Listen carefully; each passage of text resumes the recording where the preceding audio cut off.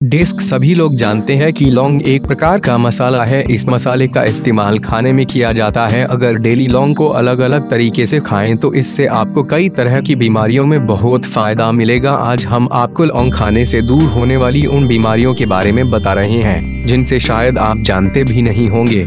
लौंग को मुँह में रख कर उसका रुपए चूसने से खांसी खत्म होती है। जब तक मुँह में लौंग रहती है, तब तक खांसी बंद ही रहती है। लौंग को मुँह में रख कर चूसने से मुँह और श्वास की बदबू दूर हो जाती है। लौंग के तेल की कुछ बूंदे किसी स्वच्छ कपड़े के टुकड़े पर टपकाकर उस कपड़े को बार बार सूंघने से जुकाम की समस्या ठीक हो जाता है, साथ ही नाक भी बंद नहीं होती है और नाक अगर बंद हो तो खुल जाती है। लौंग को पानी के साथ पीसकर 100 ग्राम पानी में मिलाकर, छानकर, मिश्री मिलाकर, पीने से हृदय की जलन विकृति दूर होती है, पेट में जलन होना बंद हो जाती है। लौंग को पानी के साथ पीसकर हल्के गर्म पानी में मिलाकर पीने से जी मचलना बंद हो जाता है और ज़्यादा प्यास लगना भी बंद हो जाती है।